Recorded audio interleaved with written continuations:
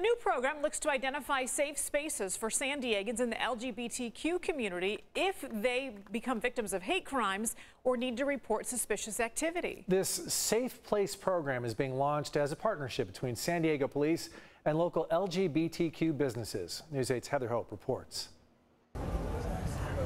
Carlo, Heather, yes, Urban Mo's is one of many places with stickers like these in front of them, marking them as a safe place from hate. Once it has this designation, it becomes a safe refuge from people who need to report hate crimes or need resources.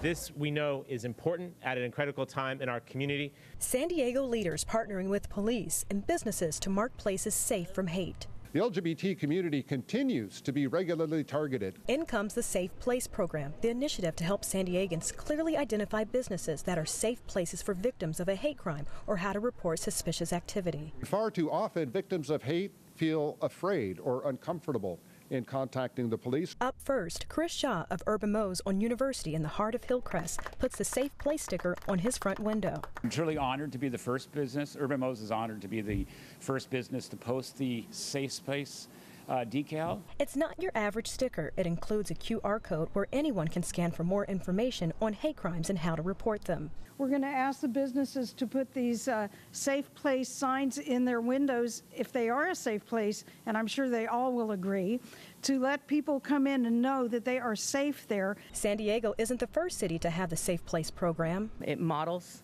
a sticker that has been uh, developed by other police departments around the nation um, but I wanted to expand on that. SDPD has new procedures being developed now for how officers will use visual and verbal cues to become more aware of an individual's gender identity. This also ensures our bookings, our pat downs, and our searches are performed in accordance with their preferred gender. Some commented on how policing in the community has come a long way.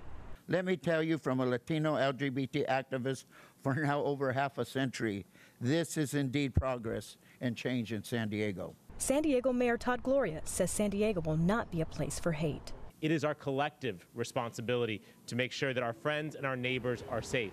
And so we're calling upon San Diegans as business owners to participate in this program. As the list of businesses grows to have stickers like these placed in front of their windows, we have on our website at cbs8.com how the city now has more information about its program if you'd like to become a part of it.